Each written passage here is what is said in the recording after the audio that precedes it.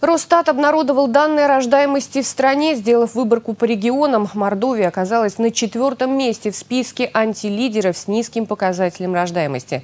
Больше всего детей насчитали в Тыве, там, отмечают эксперты и статистика, разводов самая низкая. На второй позиции Чеченская республика замыкает тройку Республика Алтай.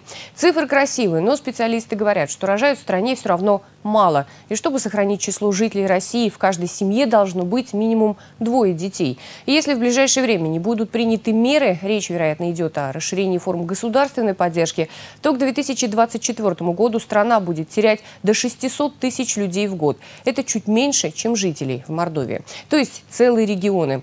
Почему ситуация складывается так, ни для кого, кроме чиновников, не секрет. Дело в низком уровне жизни и доходов населения, особенно в бедных регионах.